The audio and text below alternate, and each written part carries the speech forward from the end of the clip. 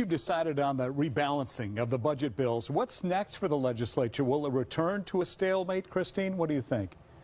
You know, I I have to I have to hope that that uh, Representative Smith Warner's listing of the issues that we still have ahead of us were not issues that she believes are bipartisan or supported by Oregonians.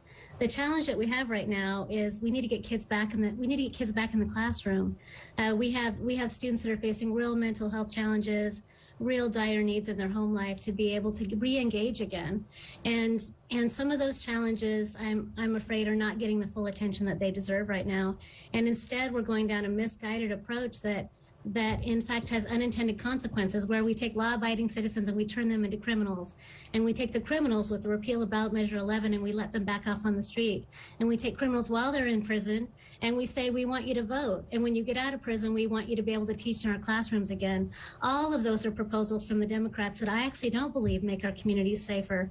I actually don't believe that those are the values of Oregonians right now when they are still facing pandemic uh, impacts, when they're still facing recovery from wildfires and the ice storms and all of the losses that have been stubborn in our state right now where we just don't have everybody back to work, which means our families aren't as stable as they need to be. So there really are issues that we need to work together on, that we need to better understand where Oregonians want us to prioritize our efforts and our time.